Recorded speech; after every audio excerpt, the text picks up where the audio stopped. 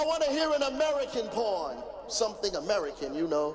Some sassy shit. A South Carolina slave shouter, Alabama backwoods church shack call and response. I want to hear an American porn about sharecroppers on the side of the road, of families in cardboard boxes. I want to hear some American shit. Something about ghettos of Italians, of Jews, of Germans, of niggers. I want to hear a poem about lead poison and poverty and children in jail. I want to hear an American poem. An American poem as American as jazz, as a niggas beating on buckets on Broad Street, as American as the Zulu Nation and Latin Kings. I want to hear an American poem